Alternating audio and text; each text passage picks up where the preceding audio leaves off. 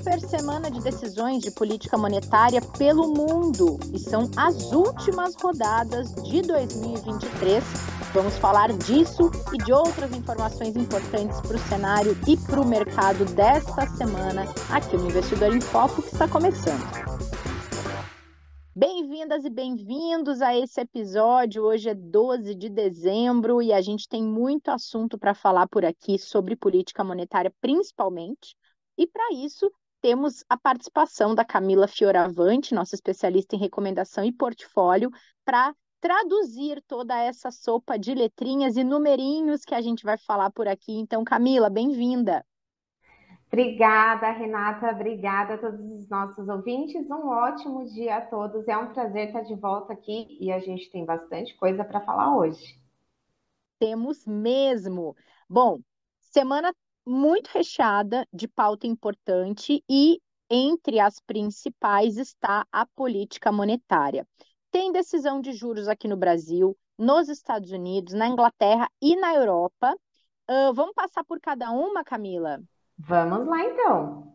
Então, começando pelo Brasil, o consenso dos principais analistas de mercado e a indicação que o próprio Copom deixou na decisão anterior é de corte de mais uma vez da taxa Selic em meio ponto percentual nesta próxima quarta-feira, é isso? Isso mesmo, Rê. Vamos é, falar um pouquinho aqui dos pontos né, que colaboram para essa tese. Uhum. Na última reunião da decisão do Copom, que aconteceu no dia 1 de novembro, o comitê optou por reduzir a taxa em meio ponto, né, como já era esperado pelo mercado, e sinalizou manutenção do ritmo de corte nas próximas reuniões. E o comunicado trouxe uma série de sinais na direção de um menor orçamento de corte de juros. Além de destacarem também o cenário internacional, que está incerto atualmente, as autoridades chamaram a atenção para a reancoragem apenas parcial das expectativas de inflação enfatizaram que a magnitude total do ciclo de flexibilização dependerá de melhora das perspectivas para a inflação. Chama a atenção que a decisão do Copom vai ocorrer ali, né, ocorre nesta quarta-feira, que é um dia depois da divulgação do IPCA, ou seja, hoje, nesta terça-feira, o IPCA será divulgado. Porém, as apostas do mercado são majoritárias para a manutenção do ritmo de corte de 50 pontos base e a gente acredita que o IPCA não deve alterar essa decisão de manutenção. Ou seja, a nossa visão confirma essa redução de 50 pontos base ali, né, da taxa básica de juros nessa última reunião em 2023, assim como o mercado também já está esperando e isso muito por conta ali da comunicação do Copom, também os desafios atuais e presentes no ambiente internacional e no ambiente, é, no aumento ali recente de incerteza sobre o cenário fiscal aqui no Brasil, que também deve resultar em uma taxa básica de juros maior quando concluído o processo de flexibilização monetária. Vale destacar também, pessoal, como eu falei para vocês, nós teremos o IPCA sendo divulgado hoje. E relembrando as últimas divulgações de IPCA, em outubro, o índice subiu 0,24% no mês, abaixo da leitura de setembro, que veio ali de 0,26%, e da expectativa do mercado também. Porém, o IPCA 15, que foi divulgado mais recente, registrou uma alta de 0,33% em novembro, o número veio ligeiramente acima da expectativa do mercado, que era de 0,30%. Ou seja, fica essa dúvida de como que o IPCA virá, porém, de toda forma, o resultado do IPCA não deve alterar o ritmo de corte do cupom.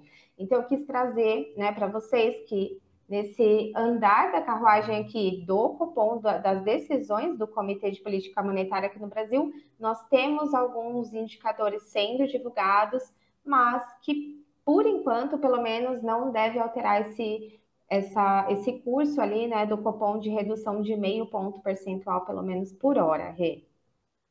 Perfeito, Camila. A gente segue acompanhando até o que, que o Copom vai sinalizar para reunião que vem na sequência já no ano de 2024 em relação a esses indicadores que você estava mostrando. É, e nos Estados Unidos, a expectativa por lá é a manutenção dos juros é, no intervalo entre 5,25% e 5,50%, como já vem acontecendo nas últimas reuniões? Isso mesmo, Renata. A expectativa do mercado é de que o Fed tenha encerrado o ciclo de alta de juros, apesar da inflação ainda distante da meta, indicar ali a necessidade de uma política monetária restritiva por período prolongado, mas vale a pena a gente trazer também um pano de fundo dos Estados Unidos. A atividade econômica por lá segue resiliente, apesar de indicar alguma desaceleração por lá e do lado de inflação, a última leitura referente ao mês de outubro surpreendeu o mercado ao vir abaixo da expectativa, acompanhada pelo arrefecimento das medidas de núcleo. Porém, Rê, o cenário de risco segue sendo o de uma dinâmica inflacionária mais desafiadora e atividade mais forte em meio a condições financeiras em patamar menos restritivo que pode exigir que o Fed continue a apertar sua política monetária. Mas, por outro lado, a resiliência da atividade econômica vem surpreendendo, já que nós não tivemos ali a recessão projetada pelo mercado, de acordo com o que o mercado estava esperando ali para os Estados Unidos. Destaco também é, que nós tivemos na última sexta-feira o payroll, que é o relatório de folha de pagamento dos Estados Unidos, então ele foi divulgado e os números vieram mais forte do que o esperado pelo mercado e com uma queda na taxa de desemprego.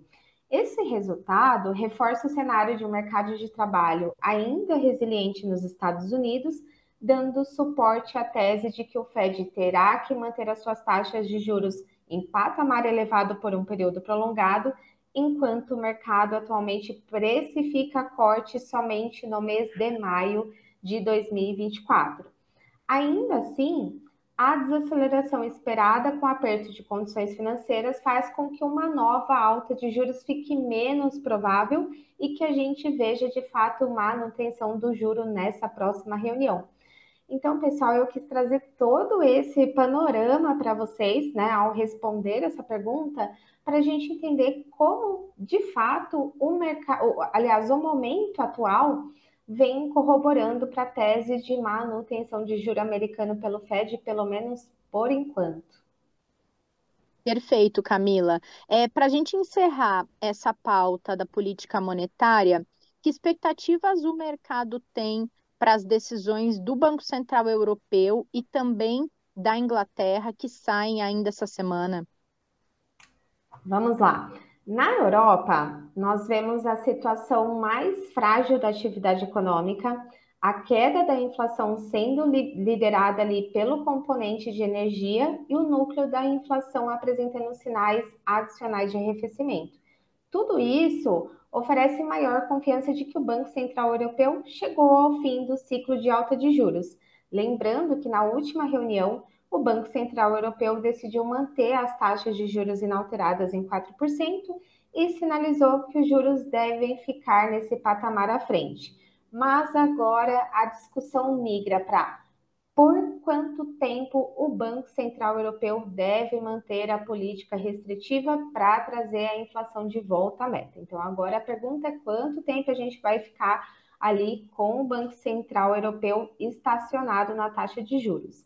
Então, com o cenário de atividade fraca e queda de, inflação por lá, a nossa expectativa é de início do ciclo de corte de juros para a reunião de junho de 2024, levando a taxa de juro por lá para 2,75% ao ano.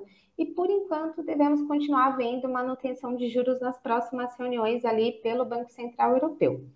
Sobre o Banco da Inglaterra, na última reunião, o comitê decidiu manter a taxa básica de juros pela segunda vez consecutiva em 5,25% ao ano, e o presidente do Banco Central da Inglaterra, o Andrew Bailey, avaliou que é cedo demais para considerar a possibilidade de corte de juros e que o juro básico deverá ficar em níveis restritivos por um período de tempo estendido.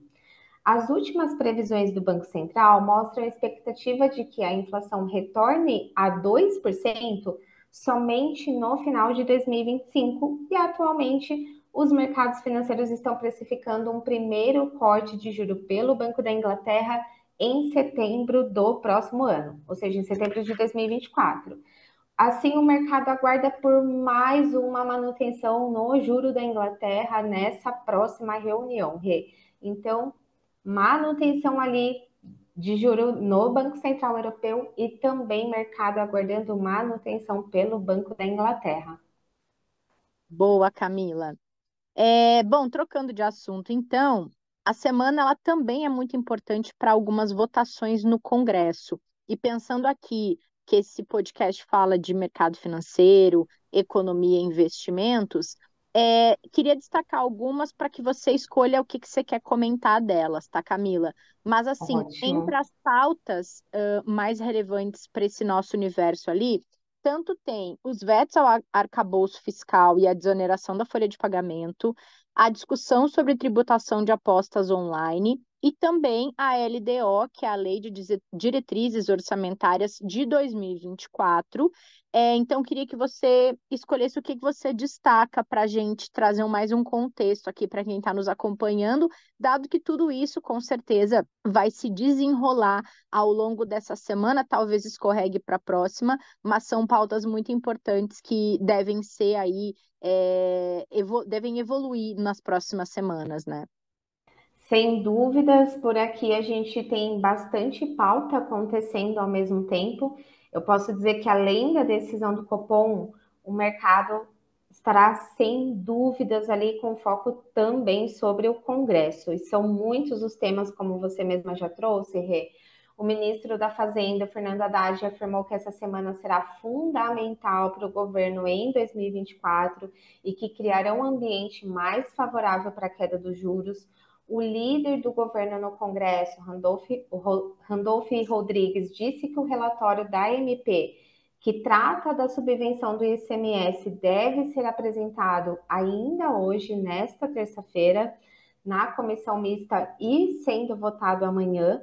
Na Câmara, a gente também tem outro assunto ali. O deputado Agnaldo Ribeiro disse que o presidente Arthur Lira já sinalizou para a votação da reforma tributária nesta semana. Segundo ele, inclusive, alguns pontos que podem gerar debate em plenário são a prorrogação de incentivos fiscais para o setor automotivo no Nordeste, no Norte e no Centro-Oeste até 2020, 2032, e a Câmara havia rejeitado e o Senado aprovou. Lembrando que a reforma tributária vai eliminar três impostos federais: IPI, PIS e COFINS, e criar a contribuição sobre bens e serviços e o imposto seletivo. Mas você me perguntou quais eu destaco, né? Eu acredito que os destaques ficam para os projetos da LDO, que é a Lei de Diretrizes Orçamentárias para 2024. A LDO, ela estabelece as regras para a elaboração da Lei Orçamentária Anual e dos orçamentos fiscais do ano seguinte mas também destaco o plano plurianual de 2024 a 2027, que é um plano de médio prazo que estabelece as diretrizes, objetivos e metas a serem guiados, serem seguidos ali pelo governo federal, estadual ou, municipal ao longo de um período de quatro anos. Então, esses aqui, para mim, são os principais destaques para a gente estar tá acompanhando principalmente ao longo dessa semana e como você já trouxe também podendo escorregar para a próxima semana. Quero trazer também aqui um último ponto sobre esse assunto fiscal para vocês. O que, uhum. o que nós estamos ali, o que nós temos aqui do nosso lado, divisão de frente fiscal. Nós observamos uma deterioração dos resultados fiscais e também há ainda incerteza quanto ao sucesso das, inici das iniciativas para aumentar a receita e a execução de despesas consistentes com o arcabouço aprovado e com o cumprimento das metas fiscais. Nós contamos com a aprovação e implementação de, med de medidas de aumento de receita com impacto total de 1% do PIB. E assim, Aqui do nosso lado, nós esperamos déficits primários de 1% do PIB em 2023 e 1,2% do PIB em 2024, com a expectativa de pagamento antecipado de precatórios. A gente sabe, é, a gente vem acompanhando muito o mercado e o quanto que hoje, né, atualmente, o mercado vem precificando algumas coisas, né, algumas pautas, algumas discussões que vem rolando da frente fiscal aqui no Brasil também. Então eu deixo aqui, né, para vocês um desafio da gente de fato estar tá acompanhando esse tema, pelo menos até o fim do ano. A gente sabe que depois a gente para, né, o, o governo para ali, o Congresso para por um tempo, então algumas pautas acabam sendo é, travadas ali por um tempo, então é importante a gente estar tá acompanhando nesse fim de ano todas essas pautas, tá acompanhando bem de perto, porque o mercado vem precificando sim algumas questões da frente fiscal aqui no Brasil também. Muito bom, Camila. Bom, para a gente fechar, essa pauta ela está super recheada de assuntos relevantes que, que você destaca também da agenda da semana, fora tudo que a gente já falou, todas essas votações importantes no Congresso Nacional, é, essas decisões de política monetária pelo mundo, o que mais a gente precisa acompanhar ao longo dos Ótimo. próximos dias? Vamos lá, então. Aqui na agenda local, é, eu trouxe para vocês que teremos ainda hoje o IPCA de novembro sendo divulgado, decisão do Copom na quarta-feira, então esses são os destaques na agenda local mas na quinta-feira são esperados os números das vendas no varejo de outubro e a sexta-feira traz IGP-10 de dezembro e o IBCBR de outubro. Na agenda internacional, os destaques ficam para as decisões de política monetária do Fed na quarta-feira, do Banco Central e do Banco da Inglaterra na quinta-feira, além dos bancos centrais do México e do Peru, também quinta-feira, e da Rússia. Além dos bancos centrais, as atenções ali do mercado também devem ficar para o índice de preços ao consumidor, que é o CPI dos Estados Unidos, sendo divulgado ainda hoje, produção industrial do Reino Unido e da zona do euro, índice de preços ao produtor dos Estados Unidos e o relatório mensal da OPEP na quarta-feira. Teremos ainda essa semana vendas do varejo dos Estados Unidos e da China na quinta-feira PMI composto da Alemanha, da zona do euro, do Reino Unido, dos Estados Unidos e produção industrial dos Estados Unidos na sexta-feira. Então, como a gente pode ver, pessoal, agenda bem puxada de indicadores, também bem puxada de decisões né, de juros ao, ao redor do mundo, não só aqui no Brasil, na Europa e nos Estados Unidos, mas até mesmo aqui bem pertinho da gente, alguns países divulgando suas taxas e é bem legal a gente estar tá acompanhando também.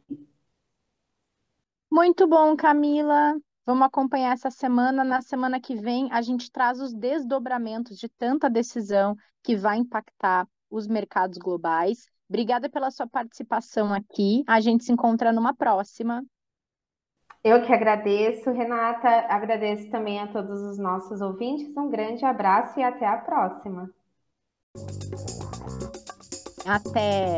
E obrigada a todo mundo que acompanhou mais esse episódio. Semana recheada para vocês acompanharem. A gente se, se encontra novamente na quinta-feira para falar um pouco mais de planejamento financeiro. Espera por você.